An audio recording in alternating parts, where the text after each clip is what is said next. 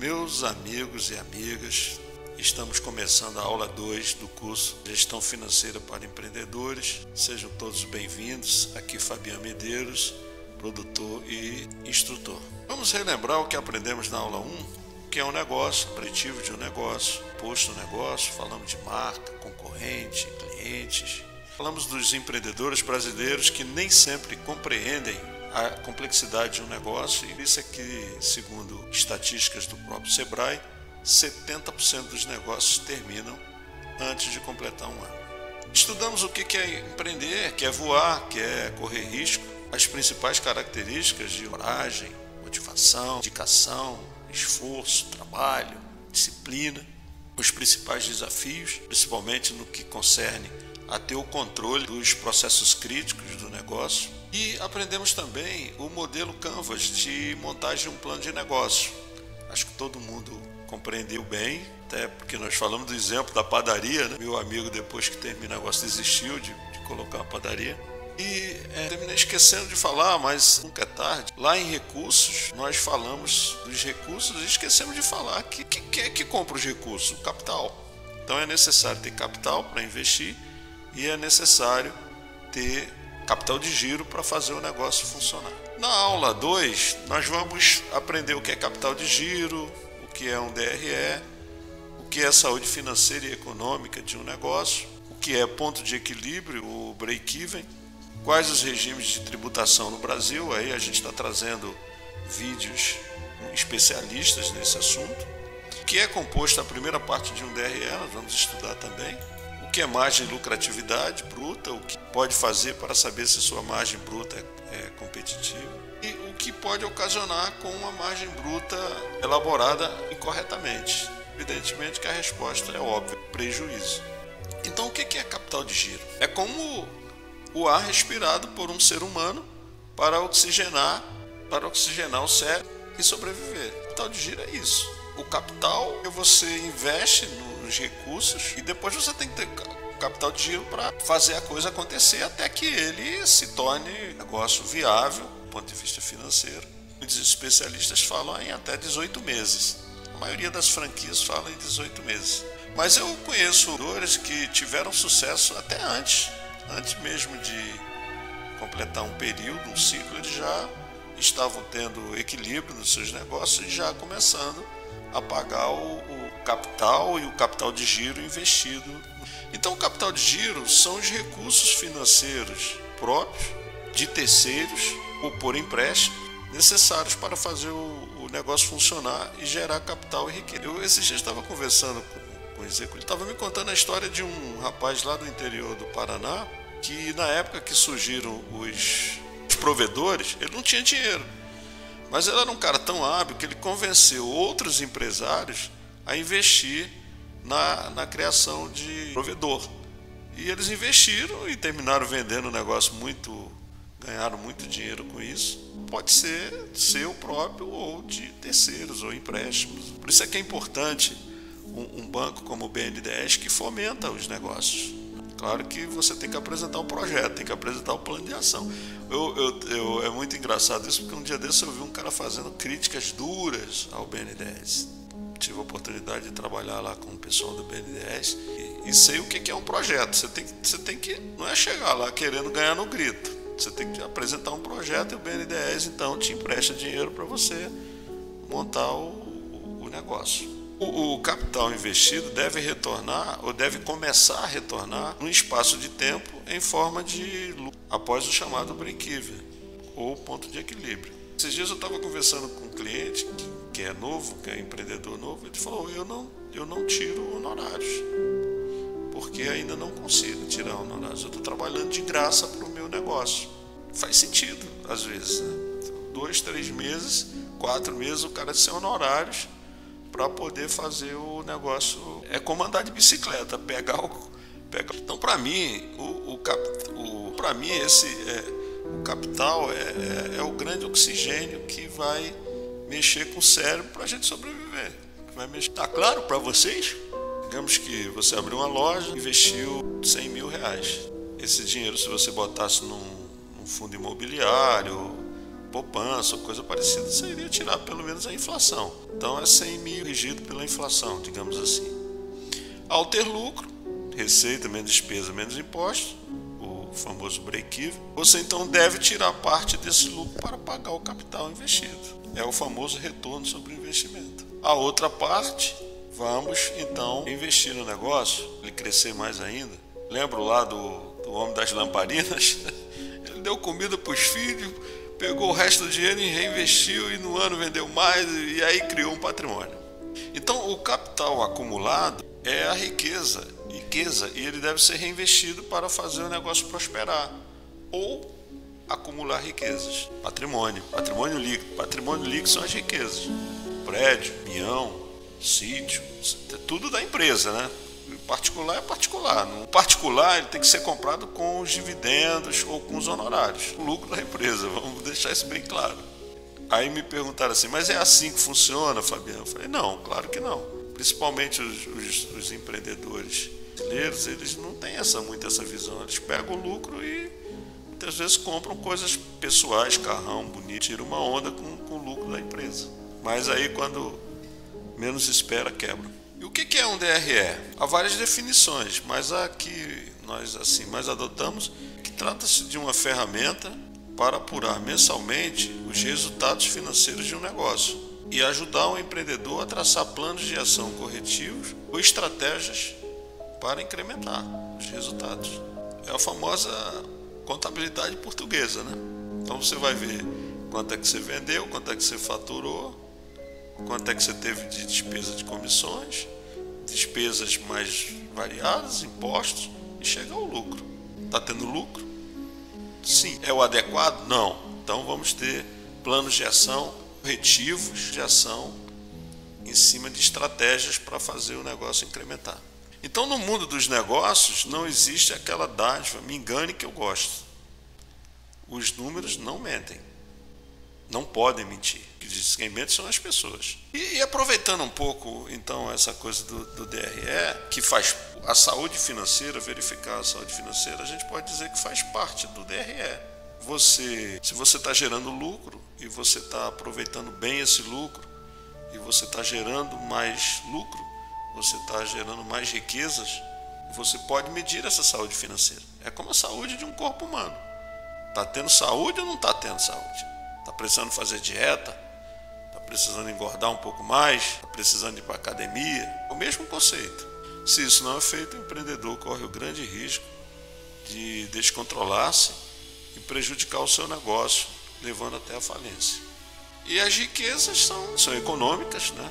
Aliás, eu, foi uma das primeiras coisas que eu aprendi quando eu fiz a faculdade de economia, qual era a diferença entre financeiro e econômico. O financeiro são os recursos que você tem no caixa da, da empresa, são os recursos que você tem disponível, os empréstimos, os investimentos em ações da empresa, para os investidores e tal. O econômico não, o econômico são as riquezas, são os prédios, né? são os investimentos que existem, são os caminhões, o gado, enfim, tudo aquilo que é ativo. O estoque, a gente poderia dizer que o estoque é um patrimônio. Se você tem um, um estoque bem controlado, bem é, é, é, capital, é patrimônio. Tanto é que estoque entra lá embaixo na composição da saúde financeira. Você daqui a pouco a gente vai falar sobre isso. E nós podemos afirmar até que existem outros tipos de riqueza, o conhecimento e a própria saúde. O conhecimento é uma riqueza, o capital intelectual, né, que se fala tanto hoje. Existem outras riquezas, a família pode ser uma riqueza.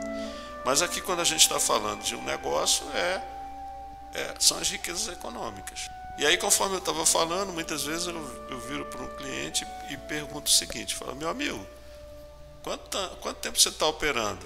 10 anos. Qual o seu patrimônio líquido? Não sei. Comprou alguma loja? Não. Você comprou algum apartamento? Não. Nem em nível pessoal? Também não. Complicado, não é verdade? Isso depende de N variáveis, né, gente? Inclusive a má gestão do negócio, que talvez seja a principal. Então, uma recomendação muito forte que nós fazemos aos nossos alunos, ao construir o seu plano de negócio, já monte um DRE para ajudá-lo na, na gestão do negócio. Ou seja, quem organiza e planeja tem menos dificuldade na gestão de um negócio, tem menos risco. Então tá aqui, lembra do, do Canvas? Ao montar esse plano, e aqui eu queria só voltar um pouquinho aqui nos recursos. Os recursos principais eles vão demandar de capital para investir e capital de giro para manter. Por exemplo, a equipe. Você tem que montar uma equipe, você tem que pagar a equipe durante três meses. Pelo amor de Deus, não invistam sem um plano de negócio e sem um DRE. Evidentemente, gente, como a gente viu, o negócio é uma coisa complexa, depende de vendas, depende de marketing, depende de pessoas, depende de processos. E nós estamos hoje aqui falando sobre a questão da gestão financeira. E agora nós vamos então saber o que é composto a primeira parte do DRE. Está aí, está projetado aí para vocês verem as informações de receita de, de produtos, de receita de serviços, custo das mercadorias. Então, por exemplo, se você loja, você aqui no exemplo, o cara faturou 1 milhão 160, ele teve 750 mil de custo de mercadorias, está lá no estoque dele. A outra parte que é preciso registrar é os descontos oferecidos e também o, o imposto sobre as vendas. E finalmente o lucro bruto, que é bruto dividido pela receita. Então, aí por volta de 32%. E aí é importante que o empreendedor olhe os seus concorrentes estão praticando. Porque se os concorrentes estiverem praticando lucro bruto menor, provavelmente eles estão roubando os clientes. Né? Então, é, é, essa análise todo mês tem que ser feita.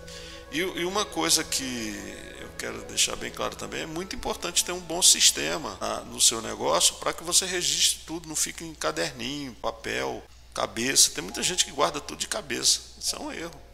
Isso não é caro. Um sistema, hoje um IRP, um bom IRP, por exemplo, Alterdata, custa 300, 400 reais por mês. Controlar tudo, estoque.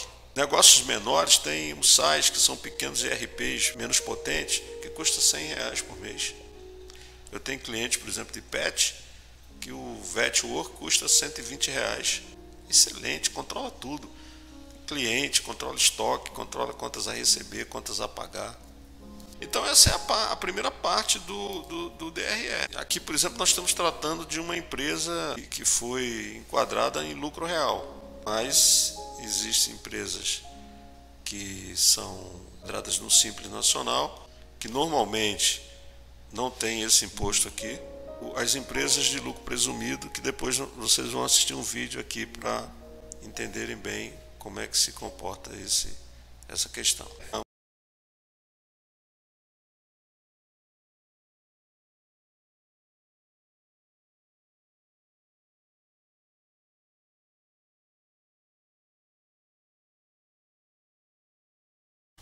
E agora nós vamos ver também, estudar um pouco sobre quais os regimes de tributação das empresas no Brasil. Aqui também eu gostaria que vocês estudassem um pouco sobre os impostos sobre as vendas ou os serviços.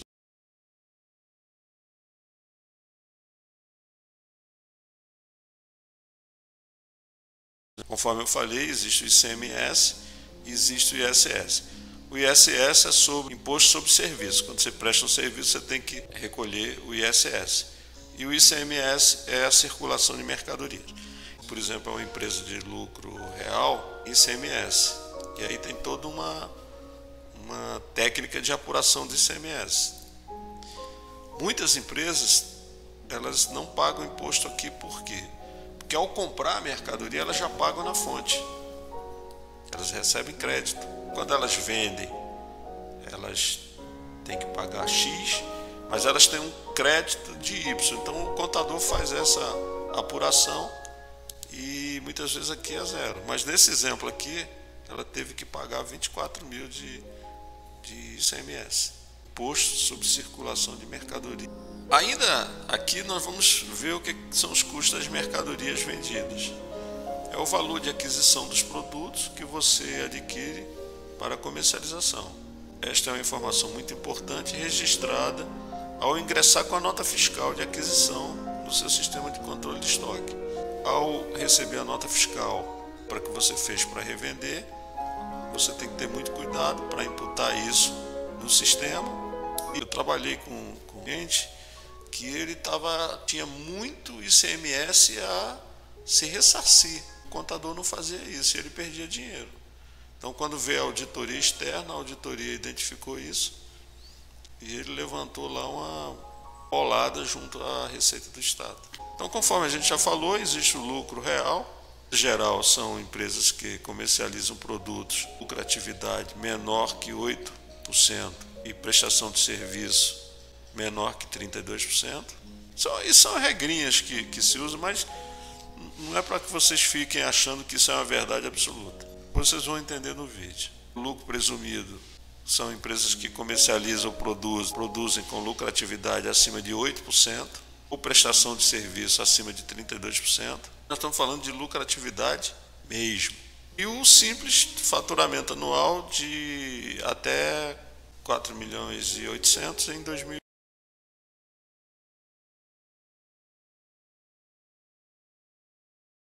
Isso vai alimentar o sistema de vendas e vai alimentar quanto é que os descontos oferecidos, de você é, valorizar os clientes e tal. Eu adoro desconto.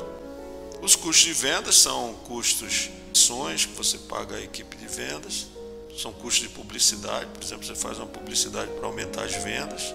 É tudo aquilo que você investe para vender mais. Pequenos detalhes podem comprometer a saúde financeira do seu negócio, é verdade. A questão do desconto é uma delas na hora de oferecer esses descontos, porque é, é, é lucro que você está tirando de fato do seu negócio. Então, meus amigos, portanto, a margem bruta é considerado o nível de rentabilidade bruta de um negócio. Infelizmente, muitos empreendedores chutam essa margem, sem nenhum parâmetro de comparação e, de uma maneira geral, assustam ou afastam os clientes.